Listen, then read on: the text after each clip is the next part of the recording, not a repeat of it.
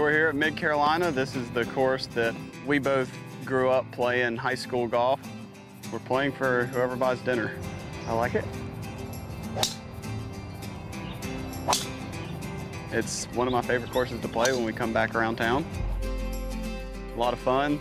Our dad's love for the game kind of just came right over to us. We just always had fun doing it, and I mean, we played other sports growing up, and we enjoyed those just as much, but we always chose golf. He's always been a student of the game, and he kind of passed that down to us and, and taught us how to play, how to appreciate the game of golf, and really how to follow it. Nice. Oh, wow. Oh, good ball. Nice one. See, they think that because I bogeyed the first hole, it's over for me. It's basically over. See, that's how I set them up, and it never turns out well for them. I love to hear that they're having fun with it. They're keeping the game fun. That's their number one priority. 116 yards. Looks to be about a seven iron for him now. Oh, lordy, lordy, lordy. this is what all the hours in the wedge range, dialing in yardages. So got 76 yards here. Hopefully I can get it inside pops.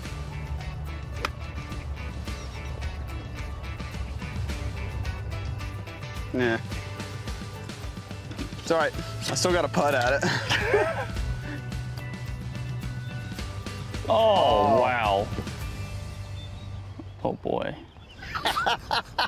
That's what you did at your last tournament win. I was just copying you, that, that makes for one embarrassing moment there.